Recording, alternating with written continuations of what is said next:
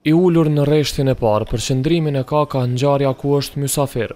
Në forumin ekonomik mes Kosovës dhe shtetit ku ky shërben, Kroacisë, ambasadori Martin Berishaj zor se mund ta paramendonte, një befasi që do t'i vinte në mes të këtij organizimi.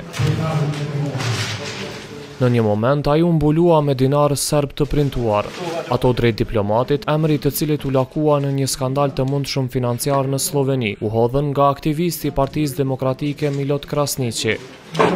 Ky u prangos menjëherë nga policia, që konfiskoi edhe çantën me paratë e jo përnjëmendta. Është e papranueshme dhe e pafalshme mbrojtja që po i bëhet ambasadorit Berishaj nga kryeministri Kurti. Ambasadori me aktakuzë Martin Berishaj nuk mund të jetë përfaqësues i denjë i Republikës së Kosovës në Kroaci. Përkundrazi, sa të vazhdojë të jetë në detyrë, ai do ta dëmtojë seriozisht imazhin e Kosovës. Për këtë punë para nisjes së forumit, ambasadori Berishaj u pyet edhe nga gazetarët. Ai mohoi edhe një herë akuzat e drejtuara ndaj tij nga mediat sllovene. Ato kanë vetëm një qëllim.